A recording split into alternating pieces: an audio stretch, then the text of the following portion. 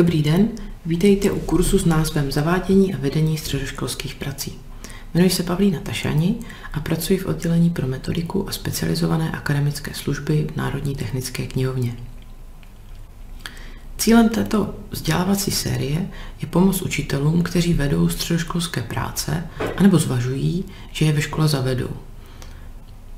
Obsahem videí jsou praktické rady a doporučení, které vycházejí z mých osobních i profesních zkušeností, které jsem načerpala především během konzultací se studenty i pedagogy během mého působení v Národní technické knihovně. Cílem tohoto materiálu je zjednodušit případnou implementaci psaní středoškolských prací ve škole, navrhnout řešení častých problémů, případně otevřít nějaké otázky, na které je dobré se připravit.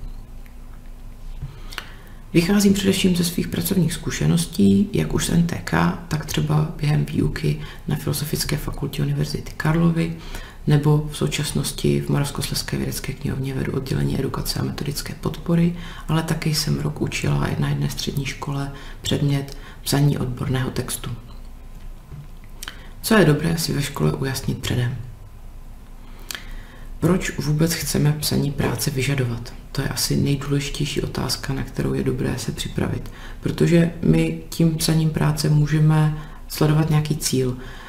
Největší pravděpodobností budeme chtít studenty něco naučit. Je tedy dobré ujasnit si, co je chceme naučit a od toho bude potom se odvíjet, co po nich budeme vyžadovat za úkoly a splnění jakých dílčích částí třeba té práce. To znamená, pokud bude pro nás podstatné, aby se studenti naučili hledat informace, budeme třeba klást větší důraz na to, aby ty zdroje byly širší nebo aby byly dobře zpracované, aby se v nich studenti uměli orientovat, aby je uměli zpracovat a tak dále. Můžeme třeba klást důraz na jinou věc, můžeme klást důraz na to, že chceme, aby se naučili lépe pracovat s textovými editory.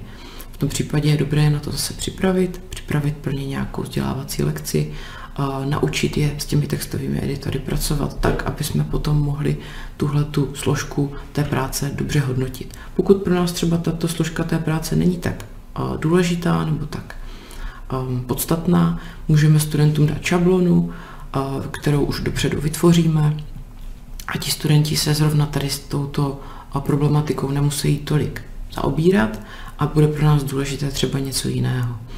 Pro některé školy může být důležité třeba téma spolupráce, protože současné sociologické průzkumy například ukazují, že v budoucím uplatnění na trhu práce jsou důležité různé soft skills, jako například schopnost spolupracovat nebo schopnost komunikovat. Tak pokud je pro nás zrovna tato složka důležitá, můžeme jim umožnit třeba skupinovou práci během některých dílčích částí té práce nebo během celého projektu, ale to už je samozřejmě na nás.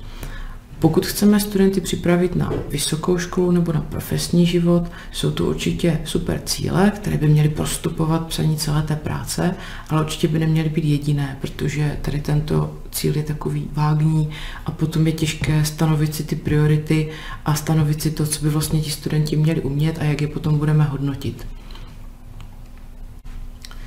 Pokud jde o organizační stránku, tak je určitě důležité rozmyslet se, jestli ta práce bude povinná nebo volitelná a v jakém ročníku psaní té práce vyžadovat. Protože z mého osobního pohledu není ideální uh, nutit studenty psát práci v prvním ročníku, protože my vlastně nevíme, jaká skladba studentů se do toho prvního ročníku dostane a jestli už mají třeba zkušenosti s psaním nějakého textu nebo jestli mají zkušenosti s tím zpracovávat text v nějakém textovém editoru a tak dále.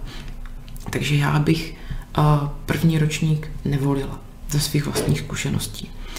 A nesmírně důležité je, aby všichni učitelé vyžadovali stejný standard. To znamená, aby se do, dohodli v rámci školy alespoň na nějakých parametrech, které budou dodržovat všichni stejné, které se případně v jednotlivých oborech o předmětech mohou trochu lišit, ale aby ten, to gro bylo stejné, aby ti studenti nebyli zmatení a neměli pocit, že třeba práce z češtiny je těžší než práce z biologie a nebo naopak.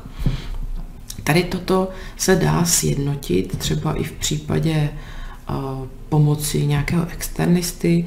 Mám tu zkušenost, že jsem několikrát byla na nějaké střední škole, kde se bavili o tom, že psaní práce začnou vyžadovat a chtěli právě pomoct s tím, rozmyslet se, jak by to mělo vypadat, co po těch studentech vlastně chtít a tak dále. Takže ta možnost zde určitě je. Vůbec není špatné rozložit, rozložit nějaké menší úkoly nebo nějaké dílčí aktivity do více let.